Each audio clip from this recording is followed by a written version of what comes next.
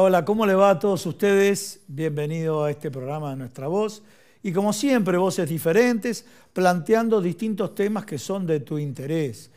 Esta semana tuvimos a nivel internacional las elecciones en Brasil, en la cual resultó triunfador Luis Ignacio Lula da Silva, casi a un punto y medio de alcanzar el triunfo, por eso va a haber balotage el día 30 de octubre.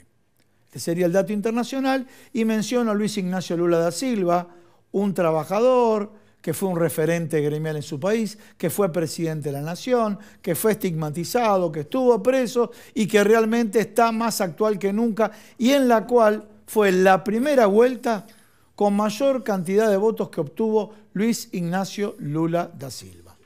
Planteado el escenario internacional, pasamos al escenario nacional y en el escenario nacional se dio a conocer la semana pasada los indicadores del INDEC vinculado con la desocupación, vinculado con la indigencia. Obviamente que estamos absolutamente preocupados por los índices inflacionarios. Eh, también esto viene concatenado a los viajes que tuvo el ministro de Economía, Sergio Massa y bueno, está planteando ahora esta semana los proyectos de presupuesto, el proyecto de presupuesto 2023 y todo esto marca un poco la agenda del día a día. Pero en la agenda del día a día, y sí, acá en nuestra voz, vamos a tener un comunicado del Consejo Directivo Nacional que lo van a escuchar eh, al cierre del programa. Ahora sí, le voy presentando a los invitados, lo tenemos acá en el estudio a Julián Blackman, lo estamos viendo acá al aire, Julián. Hiciste unos comentarios muy interesantes que vi en el destape vinculado a los datos este, de ocupación, desocupación, el tema de los monotributistas, todo lo que está pasando. Y permitidme, antes que vayamos al desarrollo específico, vamos a estar en el segundo bloque con una politóloga, Julieta Wasgold. Bueno, ahora sí, Julián, contanos un poco. Bueno, indicadores. Creció el, trabajo informal. Creció el trabajo seis puntos, seis puntos. Y esa es la gran deuda pendiente del gobierno, porque la economía creció muy fuerte el año pasado, la recuperación post pandemia, ¿no? 10 puntos. Este año estaba creciendo al 6%, al 6%, también es un muy buen número, pero lo que está creciendo es eh, Paralelamente, ese es un empleo informal en gran medida, ya llega casi a 6 millones de trabajadores informales y monotributistas. Monotributistas triplicaron la creación de empleo privado, que fue de 90.000, de empleo público, que fue 100.000, y monotributista está por encima de los 300.000 este, trabajadores informales. 300.000 el crecimiento de monotributistas. ¿Cuánto de trabajadores del sector privado? 90.000. Sí, 90.000, exactamente. Y eh, empleo público. 100.000, siempre desde el inicio del frente de todos, ¿no? Entonces eso está marcando que lo que crece sobre todo es un trabajo informal, precarizado, ¿no? Es la gran deuda pendiente del gobierno, así como el nivel salarial, ¿no? Por supuesto. Pregunta, cuando hablamos de monotributistas, pero es un dato también porque cuando te hablan mucho del gasto público y del empleo público es. En este dato que vos me diste, creció más el empleo público que el privado. Pero sin embargo, también me podés contestar. Estos ¿Cuántos fueron de monotributistas? 6 millones. 314 mil exactamente lo que creció. lo que creció son un total de 6 millones. Sí. 2 millones son en total los monotributistas, 6 millones es los informales. Los, ah, los informales. Los informales, exactamente. Ah, ok, o sea, dentro de los seis informales, dos millones son los monotributistas. No, no, porque monotributistas es registrado, es trabajo registrado. Sí, sí, obvio. Pero informales es sin ningún tipo no, no, a ver, yo me refería a la informalidad del monotributista cuando uno te dice, tengo un contrato no regularizado. Por supuesto, en ese sentido es así. En ese sentido. Bueno, entonces vamos. Eh, ¿Qué quiere decir? Que presumo que estos 314 mil la mayoría deben ser del sector privado. Sí, claro, por supuesto. Se sabe que eh, también el sector público es, gran contratador, ¿no? De, Pero ese es un dato, cuando, cuando se habla del gasto público, siempre te toman el trabajo en relación de dependencia del empleo público y en relación de dependencia del privado y no te toman casualmente el monotributo de uno u otro. Claro. Sí, de todas maneras, ¿no? cuando se habla del gasto público siempre se focaliza en esto, ¿no? en empleados públicos, en planes sociales. Y por ejemplo, por dar un dato, el año que viene el presupuesto le va a destinar 14 puntos más de aumento a los servicios de deuda pública, ¿no? después del mega endeudamiento del macrismo. Con lo cual, ni siquiera podríamos decir que ahí está el grueso del gasto público. Pero de vuelta, yo creo que la gran deuda del gobierno es esto, es la creación de un empleo regularizado, empleo, bueno, como el empleo que durante supuestamente el peronismo es el capaz de, generar, ¿no? El, viejo empleo de fábrica, y ese es el que no está, no está surgiendo. ¿no? De vuelta, es un trabajador o precarizado eh, o informal, directamente sin ningún tipo de, este, de, vínculo con nada registrado. Bien, si te parece, vamos a, la, vamos a una placa, la placa publicada por el INDEC la semana pasada, donde, bueno, un poco marca, y acá está haciendo, Julián está haciendo una síntesis, lo estamos viendo en el final, toman 31 aglomerados urbanos que representan 29 millones de personas, de los cuales dice que la población económicamente activa es del 47,9%, o sea, 13,9 millones de habitantes. La población inactiva 52,1, 15 millones de habitantes. Y después seguimos con la placa, estamos hablando, hablando que 44,6% tasa de empleo ocupado. ¿Sí?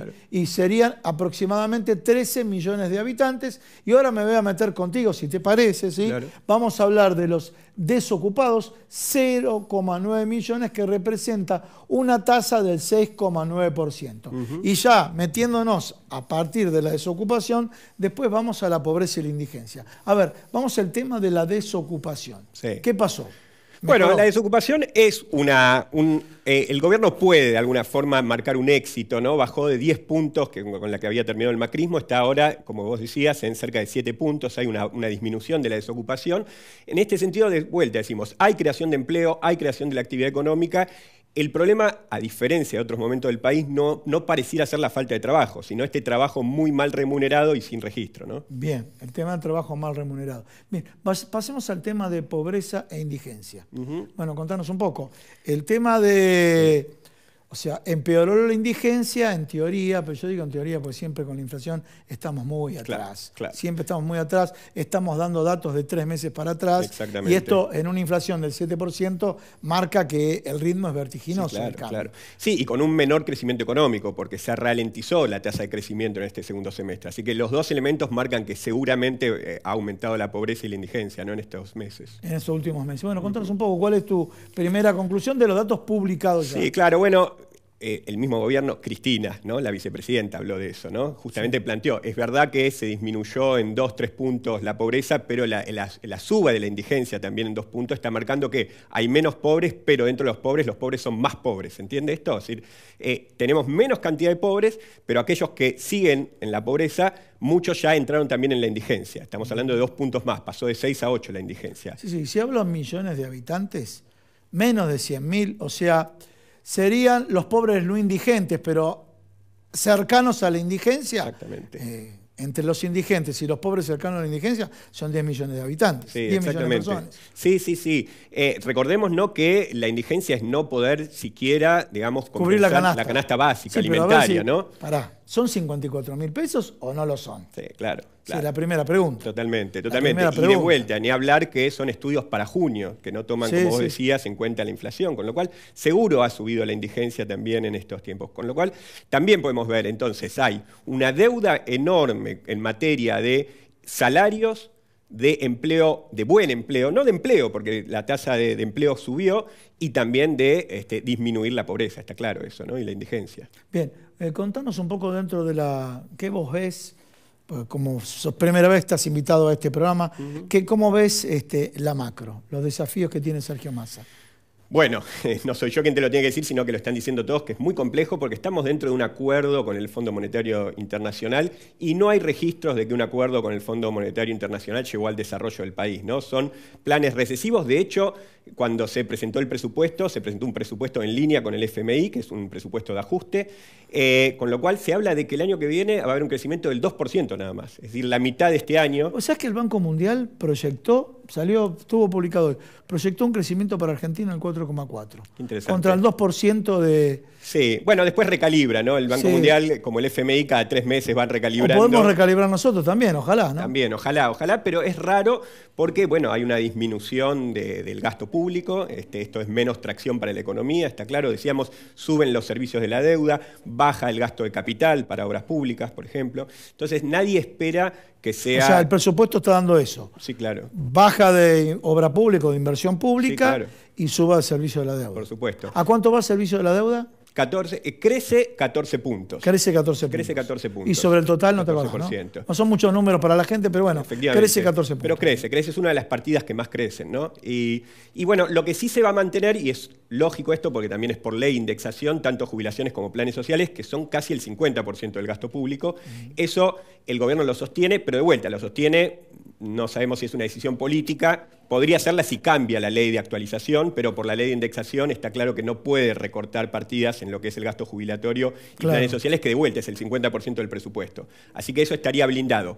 Blindado, digamos, de vuelta eh, en cuanto al poder adquisitivo actual, pero no en cuanto a los 20 puntos que perdieron durante el macrismo. Es decir, se va a sostener posiblemente ese, ese número con el que dejó el macrismo tanto jubilaciones como planes sociales, que fue 20% menor a- al 2015. ¿no? Bueno, Julián, te agradezco muchísimo. ¿Te quedó algún tema pendiente? Está perfecto. ¿Sí? Ya con, con ocupación, desocupación, el, cre- que el crecimiento del empleo. La gente que te quiere seguir, por donde te sigue, por Radio Destape, ¿no?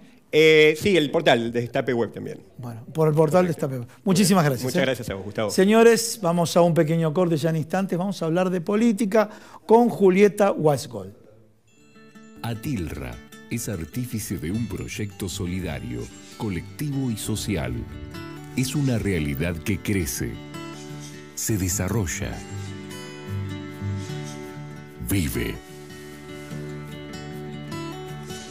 y se multiplica, pero sobre todo permanece en el tiempo. Atilra, más de 70 años sembrando de sueños el camino. Bueno, lo planteamos en la apertura del programa. Estamos con Julieta Weisgold, que es politóloga. ¿Cómo te va? ¿Qué tal? Primera vez en el programa. Sé que sos una especialista en comunicación política. Así Y si te parece, para entrar en calor, porque en la apertura del programa mencioné Luis Ignacio Lula da Silva, a un punto y medio de ser presidente de la Nación.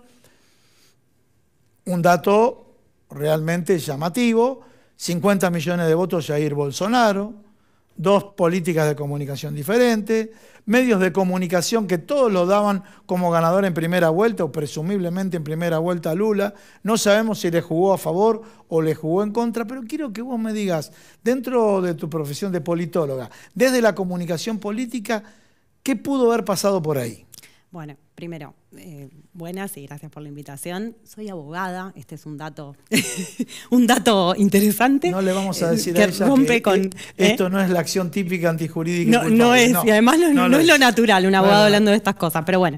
Sí. Eh, bueno, a ver, hablando un poquito de Brasil. Sí, un escenario inesperado, sobre todo no el resultado de Lula, que era ya más o menos lo esperable que se veía venir, sino el resultado de Bolsonaro, que también tuvo una buena performance en este lugares de clase mm, más baja, ¿no? No solamente digo, eso significa que la polarización ideológica, a pesar de que Bolsonaro en general la performance es mejor en sectores de clase media, media alta de Brasil, ¿no? pero también tuvo, tuvo buena performance en, ese sector del electorado, lo que significa que hay una polarización ideológica muy grande en Brasil, este, eh, que va en el mismo sentido de lo que está pasando en muchos otros lugares del mundo. El fenómeno de Brasil tiene sus particularidades porque este, Lula Lula no hizo una, digamos, si bien marcó un antagonismo muy fuerte en el discurso, ¿no? con la idea de la, de, la democracia o el autoritarismo, en algún punto se basó en eso su, su campaña, la campaña tuvo, este, no, fue solamente antagónica, ¿no? marcó, digo, fue un- una, una campaña bastante tradicional, con un mensaje... eh, nutrido de otras cuestiones y no solo de eh, una polarización. Eh, el, el que siempre es un poco más radical en, en su- en sus formas este, es Bolsonaro, y bueno, se ve que eh, pudo llegar a muchos sectores de la, de la La sociedad, con ese 50 mensaje. millones de votos. Uno puede gustarle o no, gustarlo o no el tipo de discurso y demás, porque esto corresponde para el, este, el que es brasilero, ¿no? Pero la pregunta, vamos a la derecha, a la extrema derecha, o la derecha, si lo queremos llamar así, ¿y cómo seduce a los jóvenes? Y si querés lo podemos extrapolar a la República Argentina. Pero porque antes, en mi juventud, era, y te seducía a la izquierda.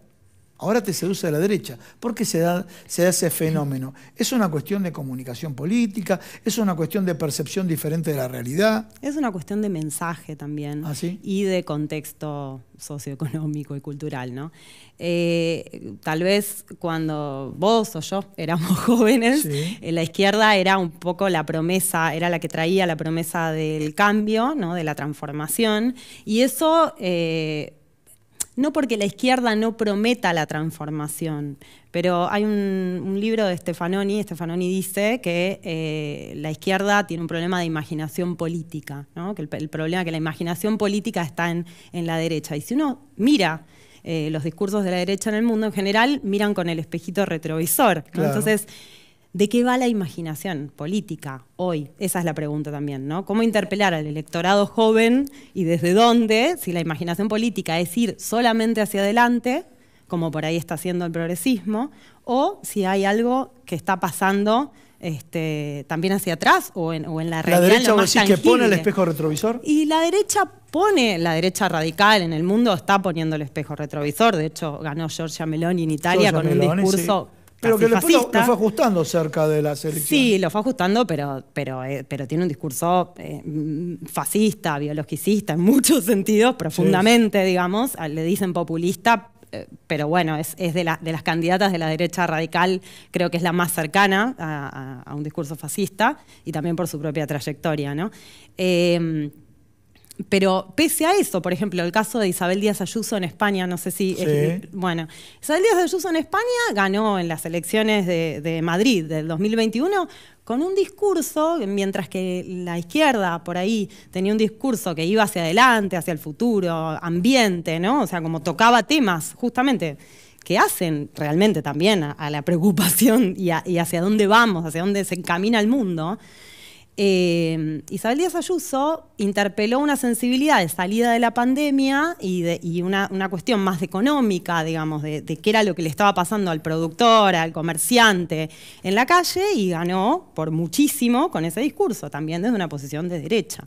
Entonces, hay algo que por ahí el progresismo no está pudiendo, este, no está pudiendo tal- también por un fenómeno económico, ¿no? O sea, la salida de la pandemia fue muy dura en todo el mundo. Eh, no hay, hay, hay un, un conflicto ahí con el discurso progresista. ¿Cómo sostener un discurso progresista con una economía que se cae bastante a pedazos en Sí, general? sí, en todo el mundo. En nuestro país más, ¿no? Pero entonces, ¿qué es lo que pasa? Entonces la población no percibe, por ejemplo, impacto económico de la pandemia, impacto económico de la guerra. Y de pronto y aparecen estas derechas con planteos facilistas desde derecha y la población lo absorbe, ¿es así? Y la población en realidad está buscando, digo, siempre busca a quien le interpele.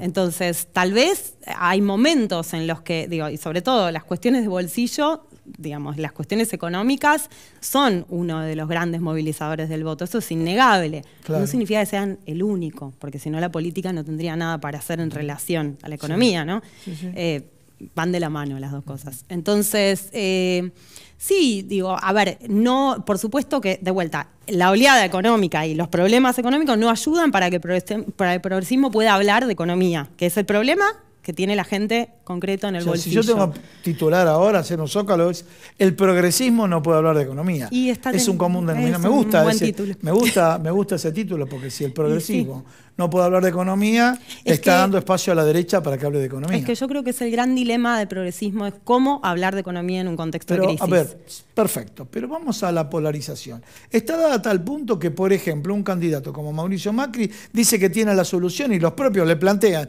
entre ellos Facundo Manes, ¿por qué no lo hiciste antes en vez de plantearlo ahora?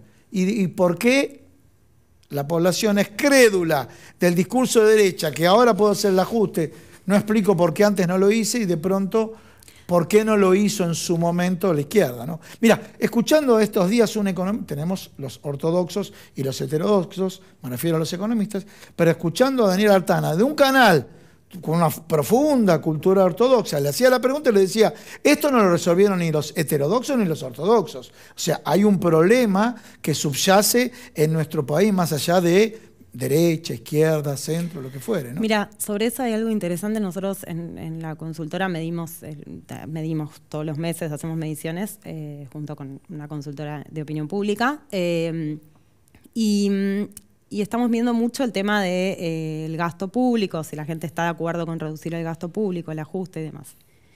Y en líneas generales, cuando uno pregunta eso, la respuesta es sí. sí hay que y mayoritariamente y sorprendentemente sí. Ahora, cuando uno empieza a hilar más fino y a preguntar, bueno, pero en educación recortarías, no. En salud recortarías, no. Y las tarifas. Jubilación. Bueno, pero no, no, no, pero es que cuando empezás a hilar fino en cada uno de los temas, ahí no hay acuerdo.